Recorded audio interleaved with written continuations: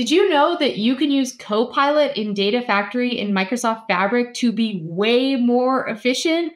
Learn all about it and see some great examples this week on Data Exposed MVP Edition.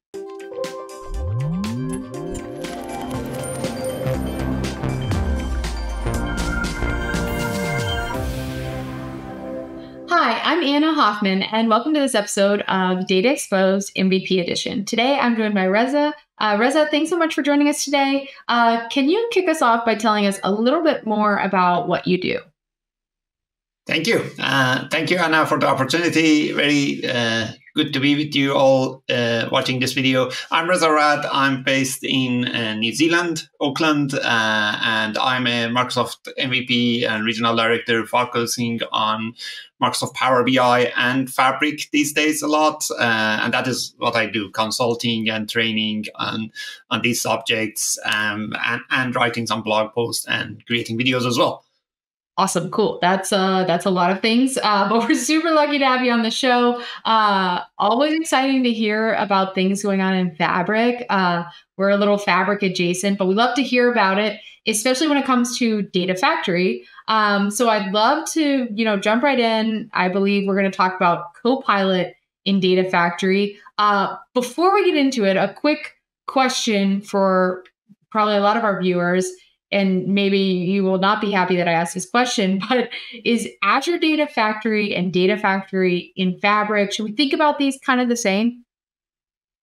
Uh, they are close, not exactly the same. So, so the Fabric Data Factory, what we call it, Fabric Data Factory, is actually combination of Azure Data Factory plus uh, Power Query data flows.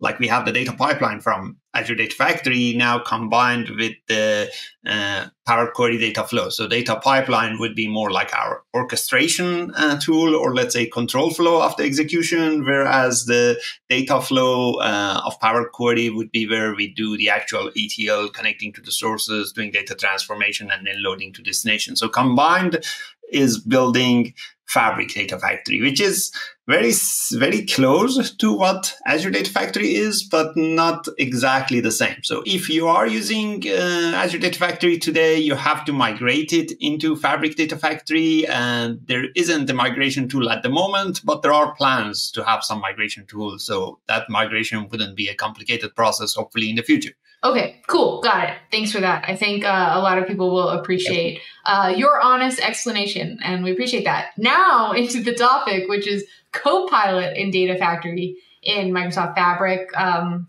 over to you. Tell us all about it. How does it work? Yeah, sure, uh, sure. So, so if you can jump into my screen, uh, Copilot comes actually in Fabric in multiple places. It comes in data warehousing experience. It comes in data engineering experience where we do notebooks. It comes inside Power BI, but the one that I'm showing is inside. Um, the data factory experience, which at the moment is in the data flow experience. So, so what you see at the moment, this is uh, my screen where I have a data flow. This is part of the data factory experience. Uh, and this data flow is connected to a source. I have a bunch of tables in here. Um, and this is a preview of my data. Some steps I can actually use the Copilot option right over here by clicking on that. Uh, it comes with some um, set of predefined options which I can use over here, or I can basically start asking questions. So, for example, here you see I have a customer table uh, which has some um, column information about the customer. So, so I can uh, I can start asking some questions about this. For example, I have like over 30 columns, but I don't really need that. Like I can say, for example, keep only customer key, uh, name columns, uh, and uh, education. Right now, you see name columns. I don't actually have a column called names. It is uh, like first name, last name, things like that. Or education itself is not a column. I have things such as English education.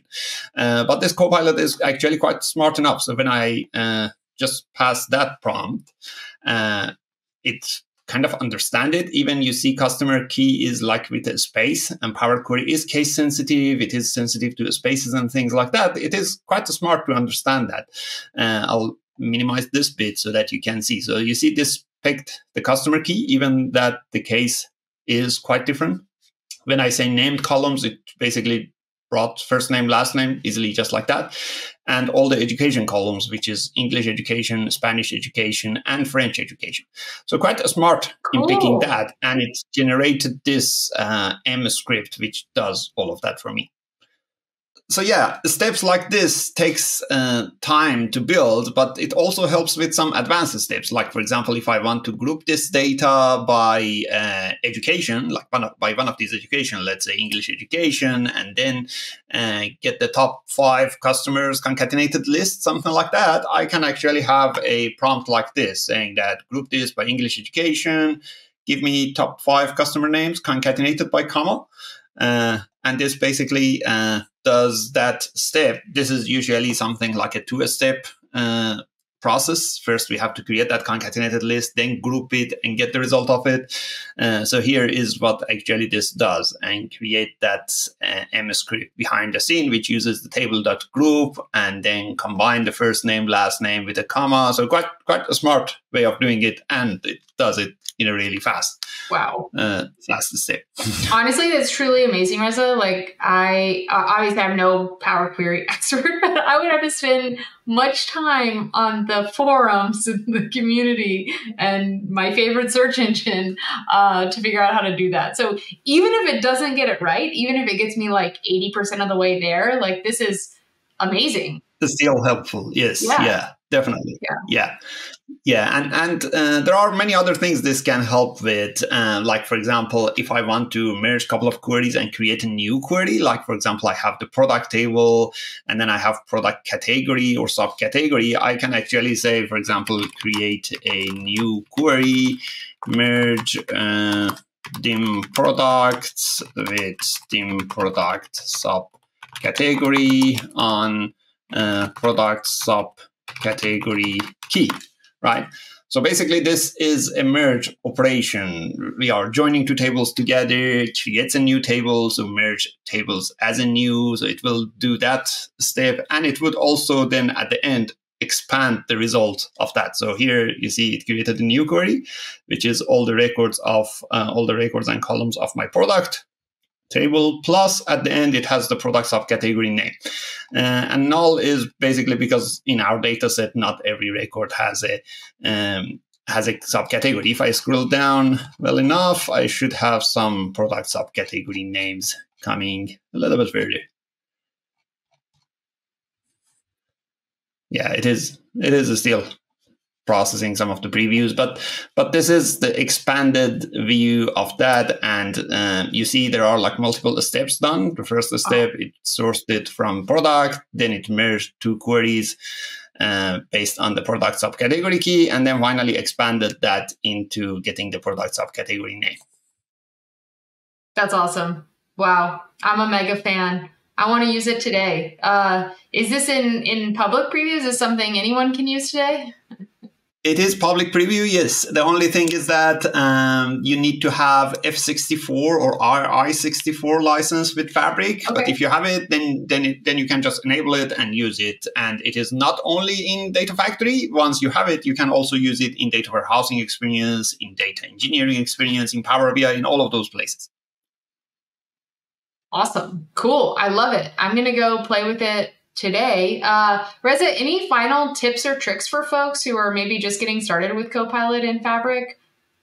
Um, I, I would say um, go and try it out. The first thing. The second thing is that this is a large language model that is going to get better and better. So even if the things that we are trying wouldn't give us like the 100% outcome, even if it gives us like 90%, uh, 80%, sometimes even 70%, it saves a lot of our time and it is definitely something we need to try and and work with it. It's it's the way that the mm, future work environment is going to be.